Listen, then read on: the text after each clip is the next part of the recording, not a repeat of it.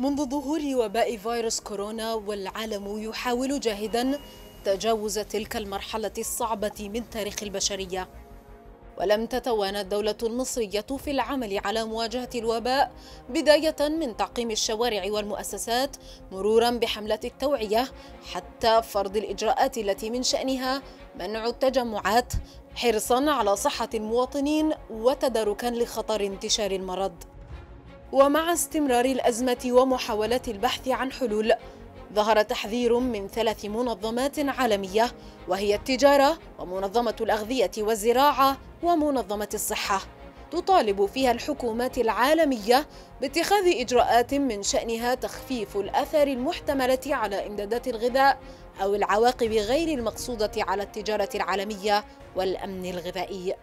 التحذير العالمي الجديد ومن ثم مطالباته يعد امرا لا بد من تنفيذه عبر تطبيق الاشتراطات الصحية بشكل آمن في مختلف تعاملاتنا والالتزام بما تقره الدولة من إجراءات هدفها الحفاظ على المواطنين سواء كان ذلك بدافع شخصي داخل المنزل أو من خارجه وفقا لما هو متبع.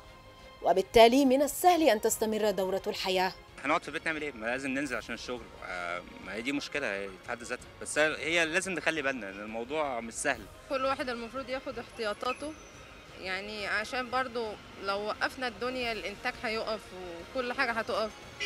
فإحنا هي ثقافة بس المفروض. ينزل عشان هو برضو ما فيش حاجة اسمها واحد يقعد في البيت ما ما يشتغلش. لا، يحافظ على شغله ويحافظ على نفسه ويحافظ على على حياته وعلى حياه أسرته وعلى يعني على الدنيا اللي عايش فيها. بنتناوب العمل مع بعض. أنا بنزل نص الأسبوع زمايلي بينزلوا نص الأسبوع عشان ما نعطلش مصالح الناس. وفي مرتبات وفي يعني شغل لازم ننجزه أنا باخد احتياطي تمام؟ بنزل بس مثلا طول ما أنا عارفة إن أنا رايحة في مكان فيه تجمع بلبس الكمامة معايا الكحول في الشنطة. لو لمست أي حاجة بإيديا ببدأ إن أنا أعقم إيدي. بس وبنزل الأيام اللي الدكتور مثلا موجود فيها وبرده في العيادة إحنا بناخد احتياطاتنا كلها حوالين برده ال- الفيروس. شغلي لازم معلش يعني ما ما هو أنا بعيش منه. هو ده اللي بعيش منه. فأنا ما بحاولش أوقف الدنيا يعني وبحاول أحمي نفسي على قد ما أقدر يعني. طالما التزم عنصر الإنتاج في كل مكان بالحفاظ على صحته سيستمر الإنتاج ونتدارك الوقوع في أزمة توقف إنتاج ضروريات الحياة.